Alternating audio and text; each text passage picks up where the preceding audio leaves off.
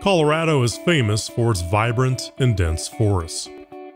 However, over the last century, many of the state's woodlands have become increasingly vulnerable to intense wildfires and disease, due in large part to an overabundance of unhealthy and dead trees. The decline in tree health, along with the associated wildfire risks, are a growing concern, particularly in the urban and semi urban forests along Colorado's Front Range. In an effort to improve forest health and reduce the risk of wildfire, the MacGregor Ranch has initiated a forest restoration project near Estes Park. Targeting 160 acres, the restoration focuses primarily on the removal of trees from overly dense areas on the southeast portion of the property. Using a local logging contractor, the ranch is also clearing away slash and all cut materials to ensure that no residual fuels are left behind. In addition to lowering the severe wildfire risk, tree removal and thinning of the forest canopy helps to reduce tree mortality from insects and disease and improves grazing habitat for elk, deer, and livestock. Wildlife species like the Abert squirrel should also benefit from the forest restoration.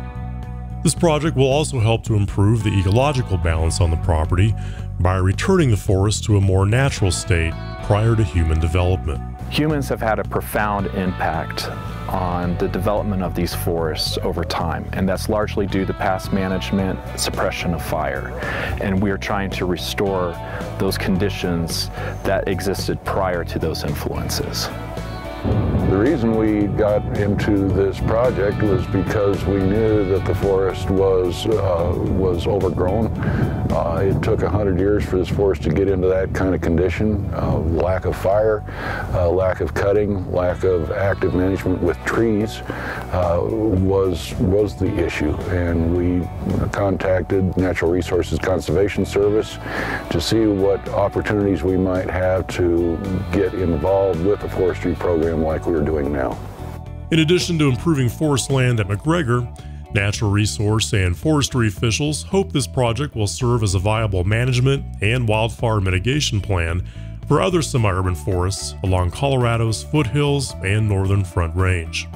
This project in itself is, is really one of those starters, one of those catalysts that we want to use to inspire other, um, other landowners to let them see what this is actually about so that they can come out here and take a look and, and understand what we're trying to do because it's a little bit different than the, than the standard protocols of forest treatments. And, and we hope that we could build that relationship with those people. The best thing that they could do is contact their NRCS office. They can come on in and, and start that relationship with their district conservationist and really get a, an idea of how, how the process really works and how we, we work with them to treat their acres. The MacGregor Ranch Forest Restoration and funding for this project is provided by a cooperative agreement between the Natural Resources Conservation Service, the Northern Colorado Water Conservancy District, and the Big Thompson Conservation District. For more information, please visit these websites.